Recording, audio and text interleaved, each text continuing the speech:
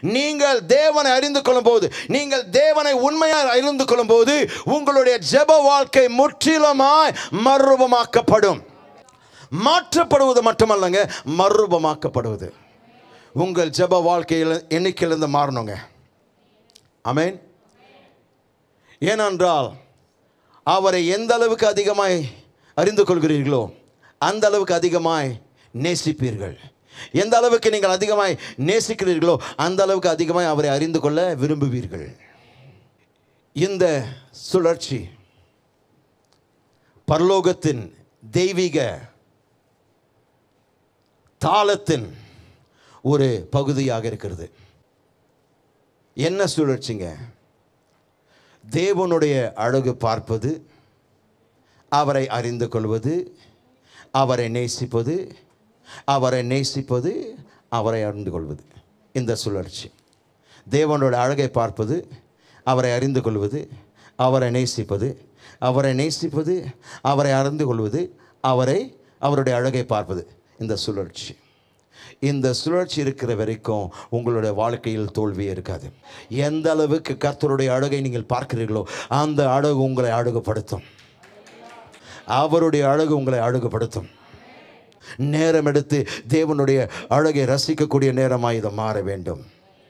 அமேன் கவனிங்க அவர் சொல்கிற வார்த்தை எனக்கு இறங்கி எனக்கு இறங்கும் எனக்கு இரக்கம் காட்டும். கேள்வி என்னென்னா ஏன் இரக்கம் தேவை? இந்த இரக்கம் என்கின்ற ஹெபரிய வார்த்தை மிக மிக மிக வல்லமை வாய்ந்த ஒரு வார்த்தை இருக்கிறது. இதுவும் கிருபை என்கின்ற வார்த்தை எபிரே மொழியிலும் சரி புதிய ஏற்பாட்டில் கிரேக்க மொழியிலும் மிக மிக முக்கியமான வார்த்தைகள். இங்கே இறங்கி எந்த அந்த இரக்கத்தை கேட்கிறாரு. அந்த இரக்கம் செசட் என்கின்ற வார்த்தை. ப்ரனன்சியேஷன் பார்க்கும்போது கெசட் கேஇஎஸ்இடி ஆனால் ஸ்பெல்லிங் வந்து சிஹெச்இஎஸ்இடி எபிரே வார்த்தை.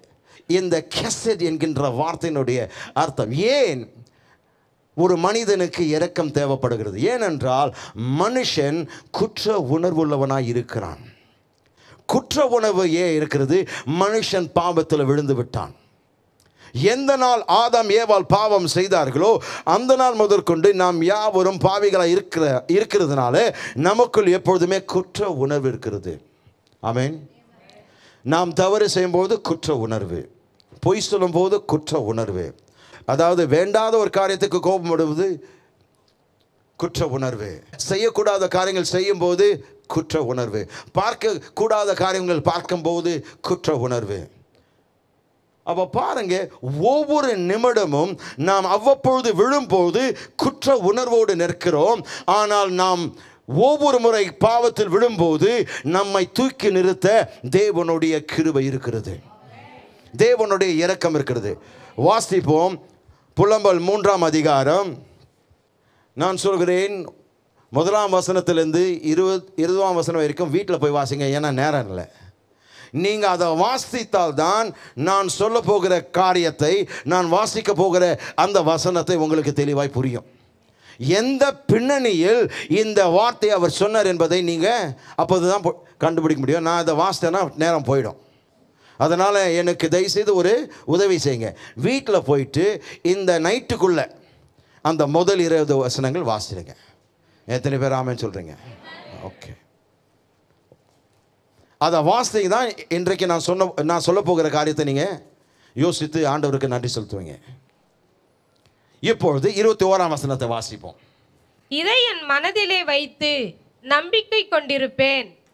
இதை இருபது வசனங்கள் சொல்லுதுன்னு வந்து நம்பிக்கை வைக்கவே முடியாது. செத்தே போயிடுவீங்க. அதனால தான் சொல்கிறேன் வாசிங்க போயிட்டு. புலம்பி தள்ளிட்ட பிறகு இதை திடீரென்று ஒரு வெளிச்சம் வருது அவருக்கு. ஐயோயோ நம்ம வேண்டாத காரியம் பேசி கொண்டிருக்கிறோமே சூழ்நிலையை பேசி கொண்டிருக்கிறோமே இதை மனதில் நம்ம இதை நாம் வைக்கக்கூடாது. மாறாக என்ன வைக்கணும்? வாசிங்க இந்த வசனத்தை. இதை என் மனதிலே வைத்து இதை நான் என் மனதில் வைத்து நம்பிக்கை கொண்டிருப்பேன். கவனிங்க எதை மனதில் வைக்கிறோமோ நம்பிக்கை அல்லது குழப்பம் கொண்டு வரும். அப்போ அவர் எதை மனதில் வைத்தார் என்பதை இருபத்தி ரெண்டாம் வசனத்தில் வாசி வாசிப்போம். நாம் நிர்மூலமாகாதிருக்கிறது. கர்த்தருடைய கிருபையே. போதுங்க அடுத்த வார்த்தை அவருடைய இரக்கங்களுக்கு முடிவில்லை. இப்போ இதிலே நில்லுங்க. இப்போ அவருடைய மனதிற்கு அவர் என்ன வைத்தாருங்க? நான் நிர்மூலமாக இருப்பது கர்த்தருடைய. கிருபை. அப்ப பாருங்க தேவனுடைய குணாதிசயங்கள் அறிந்து கொள்ளும் போது அது மனதிற்கு வரும்போது நம்பிக்கை பிறக்கும். தேவனுடைய இரக்கத்தை குறித்து நீங்கள் அதிகமாய் அறிந்து கொள்ளும் போது நீங்கள் அறிந்து கொள்ளக்கூடிய காரியம் என்னவென்றால் தேவனுடைய தயவு தேவனுடைய மனதிற்கும் தேவனுடைய கிருபை என்னை சூழ்ந்து கொள்ளும். ஓ ஹலலூயா உங்களுடைய சிந்தனை திறனை மாற்றக்கூடிய நேரம் இது. இதை நான் மனதில் வைத்து எதை? நான் நிர்மலமாக இருப்பது கர்த்தருடைய கிருபை இந்த கிருபை என்ற வார்த்தை கிரேக்க ஹெப்ரே மொழியில் இரக்கம். அடுத்ததுங்க. அவருடைய இரக்கங்களுக்கு முடிவில்லை. அடுத்துங்க. அவைகள் காலைதோறும் புதியவைகள். ஆலெலூயா அவைகள் என்று சொல்லும்போது எவைகள்?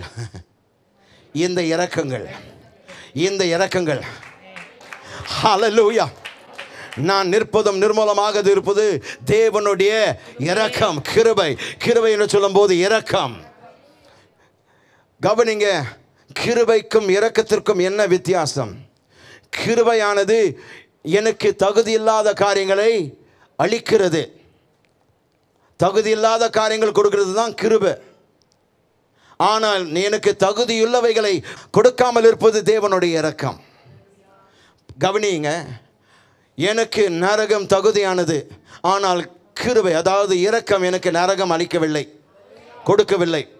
தேவனுடைய கோபாக்கரை மீது என் என் மீது வந்திருக்க வேண்டும். நான் அதுக்கு தகுதியானவன். தேவனுடைய கோபாக்கனைக்கும் தேவனுடைய தண்டனைக்கும் நான் தகுதியானவன். ஆனால் அவருடைய இறக்கம் அதை எனக்கு கொடுக்கவில்லை. பிசாசுக்கு நான் என்றென்றுமாய் அடிமையாக எந்திருக்க வேண்டும். அதற்கு நான் தகுதியானவன். ஆனால் இரக்கமானது அதை கொடுக்கவில்லை. நான் சொல்கிறேன் அவர் சொல்கிறார் நான் நிர்மலமாக இருப்பது கர்த்தருடைய இரக்கம். கர்த்தருடைய இறக்கம் நான் சொல்கிறேன் உங்களில் அநேகர் இன்றைக்கு உயிரோடு இருப்பதற்கு காரணம் கர்த்தருடைய இறக்கம் நான் சொல்கிறேன் அந்த லாரினுடைய சக்கரத்திலிருந்து என்னை பிடித்து தூக்கி நிறுத்தது தேவனுடைய இறக்கம் அன்றைக்கு நான் மறைத்திருக்க வேண்டும். நான்கு வயது இருக்கும் போது நான் மாட்டின அந்த விபத்தில் அந்த காரன் அடியில் நான் போனதற்கு காரணம் இப்படியாக நான் ஆரிசான்டலாக உயிர் விழுந்திருந்தால் என்னுடைய தலை நசுக்கப்பட்டிருக்கும். ஆனால் கிருவையானது இறக்கமானது நான் ஹேரில் இருக்கும்போது திருப்பி அந்த சக்கரங்கள் நாலு எனக்கு மேலாக நிற்க அதுலேருந்து வழி வெளியே என்னை இழுத்த பொழுது அவர்கள் இழுக்கலைங்க கர்த்தருடைய இறக்கம் என்னை இழுத்தது நான்கு வயது. நான் பிறப்பில் என்னுடைய தகப்பன் என வேண்டாம் என்று சொல்லிட்டார். இது அபாஷன் பண்ணுங்க என்று சொன்னார். ஆனால் அந்த நாளில் கொடுக்கல. என்னுடைய தகப்பனை மீறி என்னுடைய தாயை மீறி என்னுடைய உற்றார் சுற்றாரை மீறி அன்ற நாளில் அந்த லேபர் ரூமில் தேவனுடைய இறக்கம் வந்து இவன் பிறப்பான் இவன் உயிரோட பிறப்பான். நீங்கள் என்னதான் செய்து இவர் அழைக்க பார்த்தாலும் என் இரக்கம் என் கிருவை உனக்கு போதும். உன்னை வெளியே கொண்டு வரும். உன்னை தப்பு நான் சொல்கிறேன் லேபர் டேபிள் என்னை காத்தது. தேவ கிருபை தேவனுடைய இறுக்கம் கிருபைக்காக அவருடைய இறக்கத்திற்காக. நன்றி சொல்லுங்க நன்றி சொல்லுங்க. பல விபத்துகள் நீங்கள் மறித்திருக்க வேண்டும். ஆனாலும் உயிரோடு இருப்பதற்கு காரணம் கர்த்தருடைய இறக்கம் கர்த்தருடைய இறக்கம். உடையான ஸ்டேட்டில் இருந்தேன். பாவ ஸ்டேட்டில் இருந்தேன். மோசமான பாவத்தில் வாழ்ந்து கொண்டிருந்தேன். மிக துயரத்தில் வாழ்ந்து கொண்டிருந்தேன். ஆனால் அந்த நாளில் தேவனுடைய இறக்கம் அந்த உடையான ஸ்டேட்டில் இருந்து என்னை தூக்கி உயர்வான மலையில் நிற்க வைத்தது. ஹலலூயா என்னை காத்தது கிருமங்க என்னை உயர்த்தது கிருமங்க என்னை வாழ வைத்தது இறக்குங்க தேவ இறக்குங்க தேவ இறக்குங்க என்னை புறக்கணித்தார்கள். என்னை வேண்டாம் என்று தள்ளினார்கள். டீச்சர்கள் என்னை பார்த்து நகைத்தார்கள். இவன் படிக்காத முட்டாளாய் இருக்கிறான். இவனுக்கு படிப்பு ஏறாது என்று சொல்ல போகுது இறக்கம் சொல்லிட்டு இவன் படிப்பான். ஆஹா. ஓ ஹாலலூயா வேண்டாம் என்று உலகம் சொன்னது ஆனால் வேண்டும் என்று தேவனுடைய இரக்கம் சொன்னது. இவன் என்னுடையவன். தேவனுக்கு என்னை சொந்தமாக்கியது அவருடைய கிருபையே. தேவனுக்கு நான் யா- நான் சொந்தமானது அவருடைய இறக்கம் உலகம் என்னை தள்ளிட்டு உலகம் என்னுடைய சூழ்நிலை பார்த்து என்னுடைய வாழ்க்கை பார்த்து என்னுடைய வாழ்க்கை பாணியை பார்த்து தீர்மானித்தார்கள். இவன் ஒன்றுக்கும் உதவாதவன். நேசமானவர்கள் இவனை வேண்டாம் என்று சொன்ன போது கூட அவர் சொன்னார் அவன் உடையான சேற்றில் இருந்தாலும் சரி சாக்கடையில் இருந்தாலும் சரி பிசாசின் பிடியில் இருந்தாலும் சரி என்னுடைய இரக்கம் அவனை காக்கும் என்னுடைய இரக்கம் அவனை ரட்சிக்கும் என்னுடைய இரக்கம் அந்த நரகத்திலிருந்து Oh ஹலலூயா அடிமை சந்தையில் நீங்களும் நானும் இருந்தோம். பிசாசின் அடிமை சந்தையில் இருந்தோம். பாவ அடிமை சந்தையில் இருந்தோம். அடிமைகளாய் கட்டப்பட்டவர்களாய் நாம் காணப்பட்டோம். ஜீசஸ் ரெண்டாயிரம் வருடங்களுக்கு முன்பாக ஒரு கண்ணியின் வயிற்றில் அவர் பாலகனாய் பிறந்த பொழுது அவர் விட்ட முதல் குரல் இரக்கம். நான் சொல்கிறேன் தேவனை பரலோகத்திலிருந்து பூலோகத்திற்கு இறங்க வைத்தது அவருடைய இரக்கம். இறங்க வைத்தது மட்டுமல்ல நீங்க இருக்கிற இடத்திற்கு உங்களை வர வைத்தது தேவனுடைய இரக்கம். ஹalleluya ஹalleluya முப்பது ஆண்டு காலமாய் அமைதியாய் வாழ்ந்தார். யாருக்கும் தெரியாமல் வாழ்ந்தார். ஆனால் மக்களுக்காக ஏங்கி தவித்த அந்த தேவன் ஒவ்வொரு நாளும் அந்த நாளுக்காக காத்திருந்தார். எந்த நாளுக்காக? அவர் அந்த யோர்தான் நதியில் சென்று அந்த யோர்தான் நதிக்கு சென்று ஞானஸ்தானம் பெற்று ஆவின் அபிஷேகத்தை பெற்று நமக்காக ஊழியம் செய்யும்படியாக இறங்கினார். ஆரம்பித்தார். ஊழியம் செய்ய ஆரம்பித்தார். பிசாசுகள் நடுங்கின. கடைசியாக அவர்கள் கோபப்பட்டு அவரை சிலுவையில் அறைந்தார்கள். கவனிக்க வேண்டும். சிலுவையில் அறைந்த பொழுது என்ன நடந்தது? பிசாசுக்கு தெரியாது. அவன் ஒவ்வொரு அவர் அவன் கொடுத்த சித்திரவதை பார்க்கும்போது கசையடிகள் முள்முடி சூட்டுதல் ஆணிகளால் குட்டப்படுதல் கடைசியாக ஈட்டியினால் குத்தினார்கள். இந்த ஒவ்வொரு காயங்கள் மூலமாய் ரத்தம் கசிந்து விழுந்ததுங்க. அந்த ரத்தம் என்ன சொல்கிறது? இரக்கம். அவருடைய ஒவ்வொரு சொட்டு ரத்தத்திலிருந்து இரக்கம் வெளியே வந்ததுங்க. ரத்தம் வர வர இறக்கம் உங்களுக்கு குடித்து பாடியது. இரக்கம் சொன்னது நான் வந்துட்டேன். நான் வந்துட்டேன். பிசாசானவன் இந்த அடிமை சந்தையில் எல்லாரையும் பிடித்து வைத்துக் கொண்டிருந்தான். ஏசு நேராக அவன் இடத்துல வந்து என் பொருளை என் பிள்ளைகளை கட்டவிழ்த்து விடு. நடக்காது. ஏன் கிரயம் செலுத்தப்பட வேண்டும்? என்ன கிரயம்? உன்னால் செலுத்த முடியாது. அதை நீ சொல்லாத. கிரயம் என்ன என்று சொல்லு. மரணம். உயிர் கொடுக்கப்பட வேண்டும். அது உம்மால் செய்ய முடியாது. பொறுத்துரு. உன்னை மீண்டுமாய் சந்திக்கிறேன்.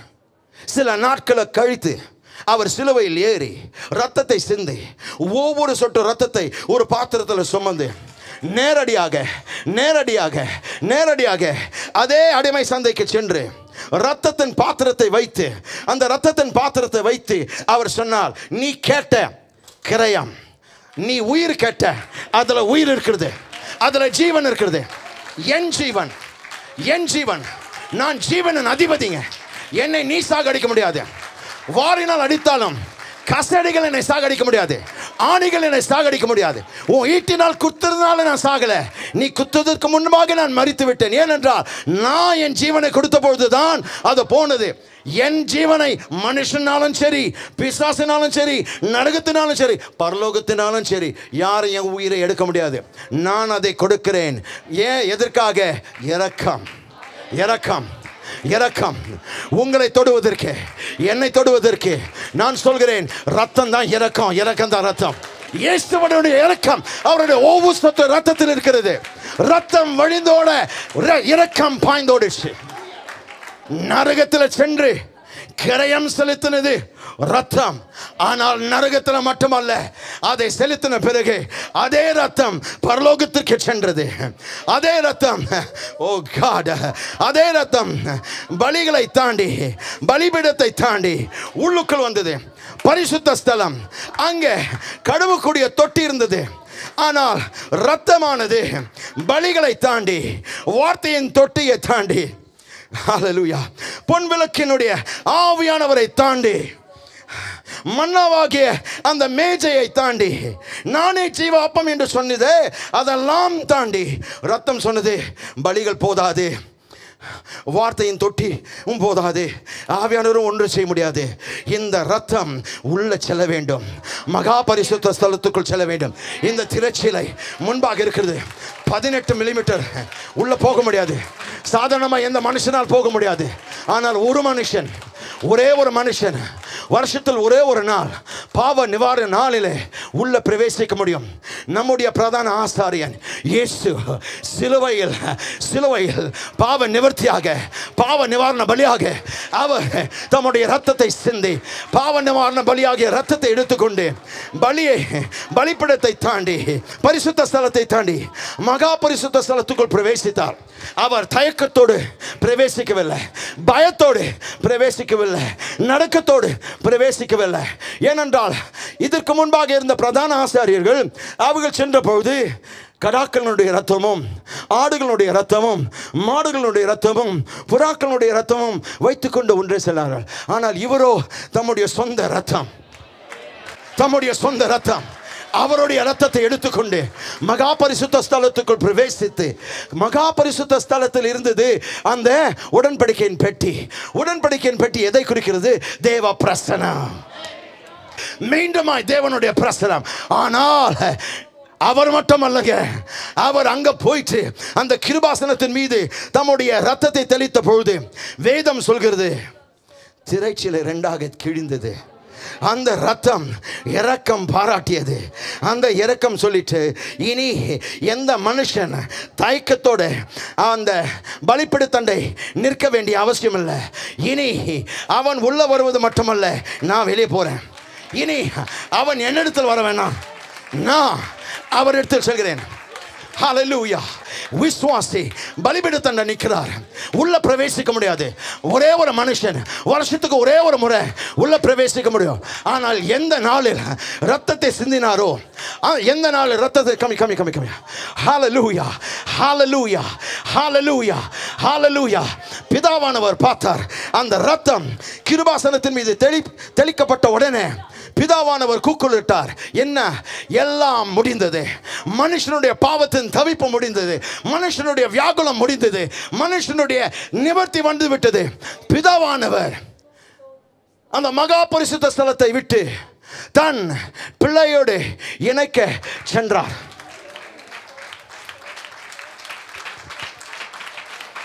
தன் பிள்ளையை அரவணைத்தார். தன் பிள்ளையை முத்தமிட்டார். என் மகனை என்று முதல் முறையாய் ஆதம் விழுந்த நாள் முதற்கொண்டு பல நூற்றாண்டுகள் தேவன் மனுஷனை வேலைக்காரனாக தான் பார்த்தான். பிசாசின் அடிமையாய் இருந்த இந்த மனுஷனை இப்போது பிதாவினுடைய மகனாய் மாறிவிட்டார்.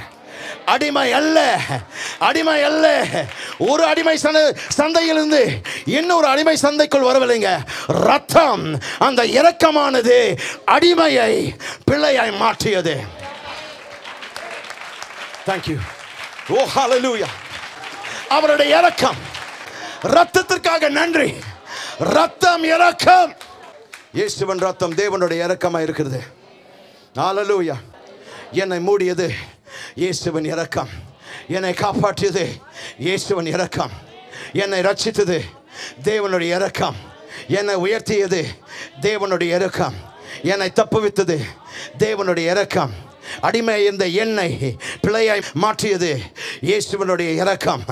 எனக்கு சுவிகார புத்திரத்தை கொடுத்தது. இயேசுவனுடைய இரக்கம். என்னை சிங்காசனத்தின் மீது அமர வைத்தது. இயேசுவனுடைய இரக்கம். பிதாவோடு ஐக்கியம் கொள்ள வைத்தது. இயேசுவனுடைய இரக்கம். பரலோகத்தை எனக்கு சொந்தமாக்கியது இயேசுனுடைய இரக்கம். பரலோகத்தினுடைய அந்த வாசஸ்தலங்களை எனக்கும் உங்களுக்கும் ஆயத்தம் பண்ணினாரே இயேசுவனுடைய இரக்கம். நீங்கள் அணுகுவதற்கு இரக்கம் வழியை திறந்தது ஆனால் அது மட்டுமல்ல தேவன் உங்களை அணுகுவதற்கு தேவன் நீங்கள் இருக்கிற இடத்துக்கு இறங்கி வருவதற்கு இரக்கம் வழியை திறந்தது நூற்றுக்கணக்கான ஆண்டுகளுக்கு பூட்டப்பட்ட தேவன் இயேசுவனுடைய இரக்கம். தேவனுடைய இரக்கம். அவரை திறந்து தன் பிள்ளைகளோடு தன் குமார குமாரத்திகளோடு மீண்டுமாய் என்றென்றுமாய் இணைக்கப்பட இரக்கம் வழிவாசலை திறந்தது.